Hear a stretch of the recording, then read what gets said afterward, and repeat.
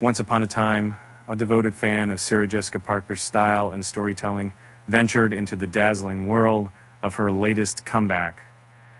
Curious about how our beloved Carrie Bradshaw would navigate a new chapter, we followed her starry path from Parisian rain to the bright lights of New York City.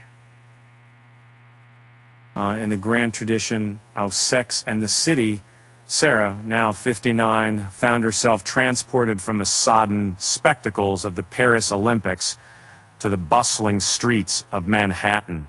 Her ensemble, a splashy pink dress hugging her form, and those signature shoes that defined the character, exuded a delightful mix of nostalgia and modernity. As Sarah leaned into the character's zest for life, we couldn't help but imagine her longing for her iconic city and the overlapping love storylines that were yet to see uh, unfold. And hey, didn't we all secretly want a glimpse of her famous smile flashing with that sprightly charm?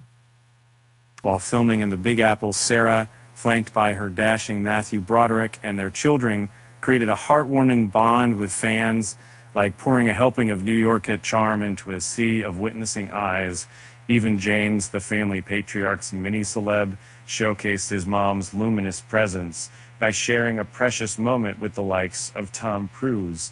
Lady Gaga's performance in Paris, the daring show despite the linguistic hurdles, ignited a buzz as fans pondered where her character would fit into the story.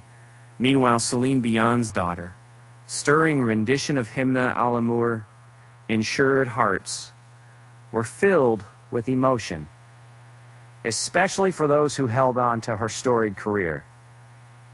Uh, in between rain soaked memories and glittering stage performances, Sarah's return to her iconic role offered a delightful reminder that life, love, and redemption can intertwine in the most unexpected ways. So why not dink you our, our channel and give that like button a hearty press? You'll be the first to know the latest on this remarkable journey. And just like that, the curtain closes on this captivating tale.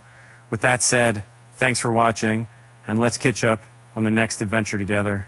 Until next time, great that.